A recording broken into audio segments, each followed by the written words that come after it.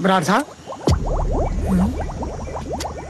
ਸਲਾਈਆਂ ਸਵੈਟਰ ਇੱਥੇ ਪਿਆ ਦਾਦੀ ਨਹੀਂ ਦੀਦੀ।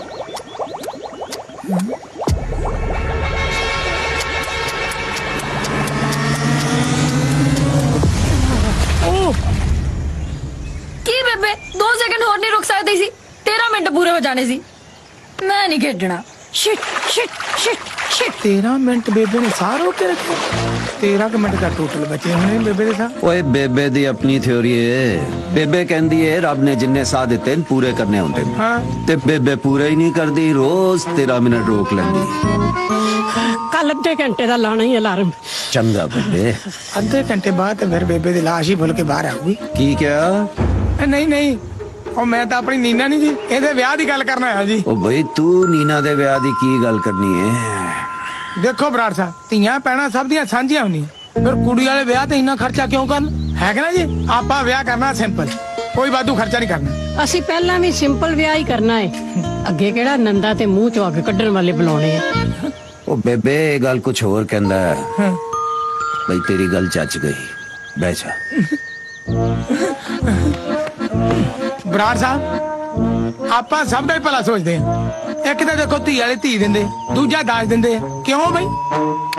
ਦਾਜ ਨਹੀਂ ਦੇਣਾ ਆਪਾਂ ਬਰਖਲਾਫ ਬਈ ਬਹੁਤ ਹੀ ਵਧੀਆ ਸੋਚ ਹੈ ਤੇਰੀ। ਇਹ ਚੰਗੇ ਇਨਸਾਨ ਦੀ ਨਿਸ਼ਾਨੀ ਹੁੰਦੀ ਹੈ। ਬਰਾੜ ਸਾਹਿਬ ਗੱਲਾਂ ਦੋ ਹੀ ਨੇ।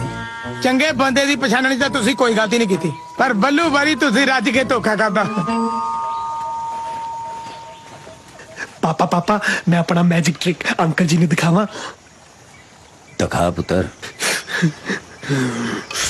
ਓਏ! ਦੇਖੀ ਆ ਚਾਕੂ ਆ। ਇਹਨੂੰ ਮੈਂ ਹੁਣੀ ਤੁਹਾਨੂੰ ਗਾਇਬ ਕਰ ਦਿਖਾਵਾਂਗਾ। ਆਵਰਾ ਕਡਾਵਰਾ ਸ਼ਿਮਸ਼ੁਮ। ਚਾਕੂ ਗਾਇਬ। ਉਹ ਪਿਆ ਮਾਮਾ ਤੇਰਾ। ਆਇਆ ਵੱਡਾ ਜਾਦੂਗਰ ਸ਼ੰਕਰ ਸਮਰਾਟ। ਜਾਂ ਭਾਜਾ ਖਾਂ ਜਾ ਕੰਮ ਕਰ। ਤੇਰੇ ਵਰਗੇ ਚਤਰ ਛਲਾਰੂ ਜਾਂ 20 ਸ਼ਾਂਕੀ ਦੇ ਆ ਕਬੂਤਲੇ ਏਡੇ ਚ ਜਾਂ ਅੰਦਰ ਜਾ ਕੇ ਪੜ ਬਰਾੜ ਸਾਹਿਬ ਘੂਰ ਕੇ ਰੱਖੀ ਜਾਂਦਾ ਬੱਚਿਆਂ ਨੂੰ। ਭਲਾਈ ਦਿੱਤੀ ਗੱਲ ਯਾਰ ਕੀ ਕਹਿੰਦਾ ਸੀ? ਆਪਾਂ ਭਲਾ ਕਿੱਥੇ ਕਿੱਥੇ ਗਏ? ਬੱਲੂ ਦੀ ਵਾਰੀ ਤੁਸੀਂ ਰੱਜ ਕੇ ਧੋਖਾ ਖਾ ਹਾਂ। ਦੇਖੋ ਬਰਾੜ ਸਾਹਿਬ ਬੱਲੂ ਭਾਵੇਂ ਸਾਡਾ ਯਾਰ ਆ ਪਰ ਸ਼ਰਾਬੀ ਕਬਾਬੀ ਬੰਦਾ।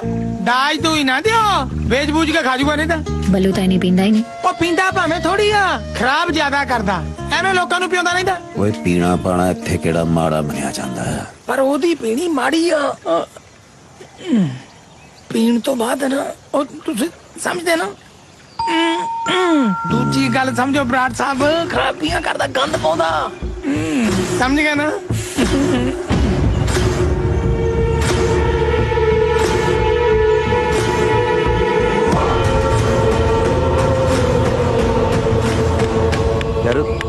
ਯਾਰ ਤੇਜੀ